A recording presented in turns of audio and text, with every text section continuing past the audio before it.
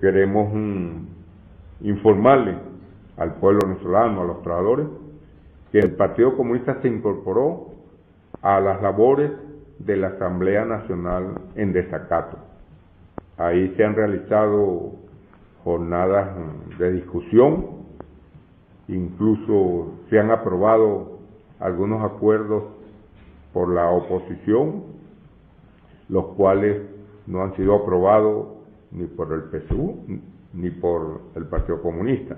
Hay otros donde el PSU, como es el caso de Pala Sur, donde el PSU estuvo de acuerdo.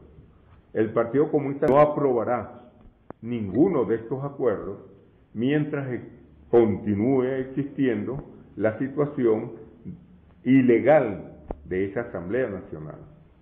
Esa Asamblea Nacional, por decisión del Tribunal Supremo de Justicia venezolano, está en desacato. Es decir, para la aprobación de cualquier materia, cualquier acuerdo, cualquier ley, etcétera, en primer lugar tiene que resolverse el problema legal de esa Asamblea Nacional. El Partido Comunista concibe esa Asamblea Nacional como un foro donde confluyen las distintas fuerzas políticas nacionales del país y se debaten los, los principales problemas, los principales temas que sacuden la vida política y social.